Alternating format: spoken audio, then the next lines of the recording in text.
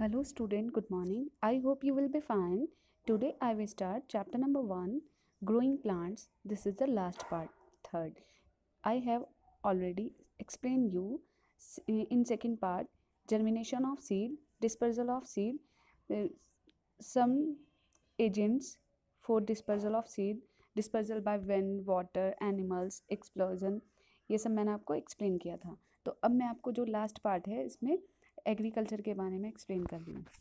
अब एग्रीकल्चर क्या होता है? Plants which are grown in large area for food और other uses are called crop crop किसको बोलते हैं? फ़सल को। कि जो हम एक बड़े एरिया में किसी प्लांट को ग्रो करना या तो किसी या तो फ़ूड के लिए किसी अदर पर्पज़ के लिए उसको बोलते हैं crop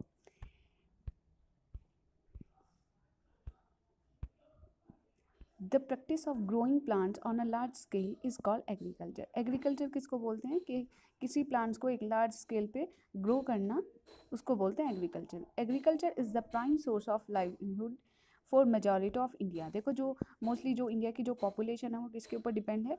वो एग्रीकल्चर के ऊपर डिपेंड है, क्योंकि यहाँ का जो मेन पर्पज़ है, जो सब यहाँ पे लोग करते हैं, जो उनका सोर्स है मेन वो एग्रीकल्चर है. In most part of India India के बहुत सारे पार्ट्स में मोस्टली ज़्यादा पार्ट में the crop the main crop are grown in two cycle देखो, जो क्रॉप है, वो टू साइकिल में ग्रो होती है। Winter winter crop are known as rabi crop जो विंटर क्रॉप होती है, उसको हम क्या बोलते हैं? Rabi crop summer crops are known as kharif crop और जो खरीफ क्रॉप होती है, वो समर क्रॉप को बोलते हैं। और जो विंटर जो क्रॉप होती है उसको रबी क्रॉप को बोलते हैं। Crops like wheat gram are grown in winter तो इसलिए जो वीट होता है ग्राम वगैरह होता है, ये कौन सी क्रॉप है? हमारी रबी क्रॉप है, क्योंकि वो विंटर सीज़न में ग्रो होती है। दिस आर रबी क्रॉप ठीक है? ये रबी क्रॉप होती है। Crop like rice jowar, bajra are grown in summer this are kharif crop देखो, जैसे कि आपको एग्ज़ाम्पल दिया है राइस वगैरह, ये सब क्या है? हमारी समर सीज़न में ग्रो होती है। तो इसलिए इसको क्या बोलते हैं? हमारे खरीफ क्रॉप है। तो ये कौन सा सीज़न चल रहा है अभी? खरीफ क्रॉप अब देखिए various stages in agriculture agriculture के लिए बहुत सारी जो स्टेजेस होती हैं उनसे उनको, जो वेरी वेरियस स्टेजेस होती हैं एग्रीकल्चर के लिए। तो सबसे पहले हमें एग्रीकल्चर करने के लिए, सबसे पहले हमें प्लगिंग करनी पड़ेगी। तो प्लगिंग क्या होती है? The process of loosening loosening and turning up the soil is called ploughing ploughing किसको बोलते हैं? कि जो सॉइल होती है, उसको लूज़ करना या फिर टर्न करना। जो हमारी सब सॉइल है और टॉप सॉइल है, उसको टर्न करना मिक्सअप करना, उसको बोलते हैं ploughing it loosens it loosens the soil and improve the water holding capacity of the soil देखो, जो, हम जो ये प्लगिंग करते हैं किस लिए करते हैं कि जिससे कि वाटर जो होल्डिंग कैपेसिटी है सॉइल की, वो इंक्रीज़ हो जाए। फिर उसके बाद क्या है, अब हमने प्लगिंग कर ली जो फ़र्स्ट स्टेजेस है, वो एग्रीकल्चर की सबसे पहले है कि जो सॉइल है उसको प्रिपेयर करना है। फिर उसके बाद है सोविंग अब बोने का जो मेथड है the process of putting the seed in the soil is called sowing seeds are either scattered by hand और with a seed drill at a correct depth देखो जो बीज जो बोए जाते हैं स्कैटर्ड किए जाते हैं, उसको बोलते हैं सोविंग फिर उसके बाद है, जो सीड होते हैं, वो हम हाथ से भी बो सकते हैं या फिर मशीन से भी। जैसे कि सीड ड्रिल होती है, जो प्रॉपर डेप्थ में जाती है प्रॉपर गहराई में, हर एक बीज जो है, वो प्रॉपर गहराई में जाएगा। फिर उसके बाद क्या है नेक्स्ट है एडिंग मैन्योर एंड फर्टिलाइज़र फिर क्या है कि जो फर्टिलाइज़र वगैरह है मैन्योर है, खाद है, उसको डालना है। देखो, जो फ़र्स्ट स्टेज है, ये आपको पिक्चर दी हुई है, ये है प्लगिंग ये इसको क्या कर रहा है टीलिंग कर रहा है, लूज़ कर रहा है सॉइल को, टर्निंग कर रहा है। फिर उसके बाद नेक्स्ट जो है, वो क्या कर रहा है ये? Manure is added to the soil ये क्या कर रहा है? वैसे manure is added to the soil और फिर नेक्स्ट है सीड आर सोन तो ये जो है पिक्चर ये इसकी है और जो ये पिक्चर है, वो इसकी है ये, ठीक है? अब ये जो सीड है, वो बो रहा है। फिर नेक्स्ट देखिए manure and fertiliser are added to the soil to improve the required nutrients to the plant देखो जो मैन्योर होता है, जो खाद होता है, वो किस लिए डाला जाता है जिससे जो हमारी जो सॉइल होती है, उसके अंदर जो न्यूट्रिएंट्स है, उसको प्रोवाइड जो उनके अंदर जो न्यूट्रिएंट्स है सॉइल के अंदर मिनरल्स वगैरह है वो ऐड हो जाए और उसके जो प्लांट है वो प्रॉपर ग्रोथ हो जाए उसकी।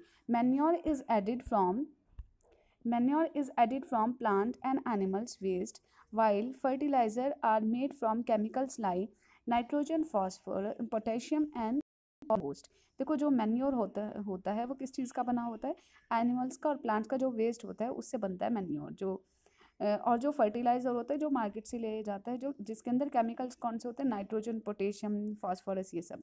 फिर उसके बाद है इरीगेशन अब पानी देना है। सबसे पहले जो है एग्रीकल्चर हमें खेती करनी है तो सबसे पहले प्लगिंग करनी पड़ेगी।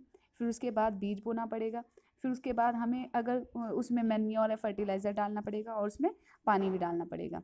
तो irrigation is the supply of water to the crop in the field from well and canals through channels and spiracle sprinkles sprinklers तो देखो जो इरिगेशन होता है, इसका मतलब है कि जो वाटर है, वो क्रॉप को सप्लाई करना है, या तो वेल से या फिर कैनल्स वगैरह से इन सबसे करना पड़ता है। Irrigation is by using irrigation is done by using animals like bullocks और बाई यूजिंग पम्प्स देखो जो इरीगेशन होती है वो बुलक से भी कर सकते हैं या फिर पम्प्स वगैरह से भी किया जाता है, जैसे कि ये दिख रहा है आपको। फिर उसके बाद है प्रोटेक्टिंग क्रॉप अब देखो, अगर क्रॉप में कोई पेस्ट वगैरह लग जाए, कोई इंसेक्ट्स वगैरह लग जाए, कीड़ा वगैरह तो उसको हमें क्या करना है फिर? उसको प्रोटेक्ट करना है। When the crop grown when the crops grown they need to be protected from insects and pest देखो, जो प्रॉपर हमारे जो प्लांट है, वो ग्रो हो रहे हैं तो उसको प्रोटेक्ट करना है इंसेक्ट से पेस्ट वगैरह से।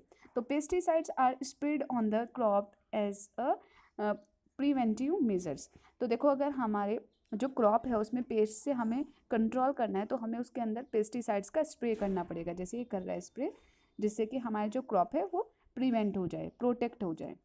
नेक्स्ट देखिए, हार्वेस्टिंग एंड विनोविंग अब हार्वेस्टिंग किसको बोलते हैं? देखो, जैसे ये कटिंग हो रही है तो इसको बोलते हैं हार्वेस्टिंग, ठीक है? तो देखिए हार्वेस्टिंग में क्या करना है?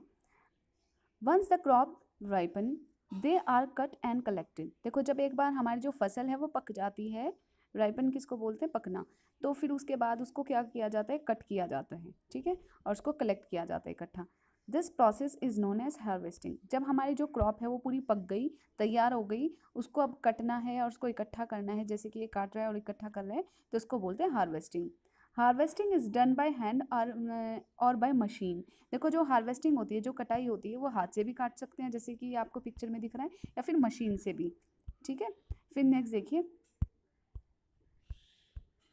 Winnowing is done to separate the husk from the seed by dropping them from certain height देखो विनोविंग किसको बोलते हैं कि जो हमारे जो क्रॉप होती है, उसमें कुछ चाफ होता है कुछ पुराली वगैरह, हस्क वगैरह पड़ा रहता है तो उसमें हमें सीड में से सेपरेट करना उस हस्क को, उस चाफ को तो उसको बोलते हैं विनोविंग ठीक है? ये क्या होता है? विंड की हेल्प से, हवा की हेल्प से, कुछ हाइट तक हम ऊपर करते हैं और उसको, विंड की हेल्प से उसको ऐसे शेक करते हैं और उससे जो हस्क है वो दूर चला जाता है और जो सीड है वो नीचे गिर जाते हैं तो ये है विनोविंग ठीक है? उसके बाद है स्टोरिंग ग्रेन्स अब जो हमारे बी फ़सल जो बिल्कुल रेडी हो गई अब उसको स्टोर भी करना है, ठीक है? कम्प्लीटली जो ग्रेन्स हैं, उनको स्टोर करना है। Grains are dried completely and them stored safely in containers और सेक्स इन ड्राई प्लेसेस देखो, जो ग्रेन्स है, जब वो पूरे तैयार हो गए, उनको ड्राई करो पहले कम्प्लीटली धूप में डाल के, ठीक है? जिससे कि वो सूख जाए कम्प्लीटली और फिर उनको स्टोर करना है किसी कंटेनर्स में या ड्राई प्लेस में जहाँ पे। A large amount of grains are stored in large container call silos देखो, जो हमारे ग्रेन्स हैं, उनको काफ़ी लार्ज कंटेनर में स्टोर करना, उसको क्या बोलते हैं? Silos fruits and vegetables are store in cold storage लेकिन जो फ्रूट्स होते हैं वेजिटेबल्स होते हैं, उनको हमें स्टोर कहाँ पर करना पड़ता है?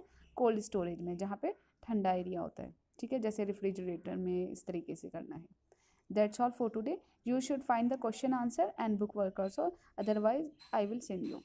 That's all for today.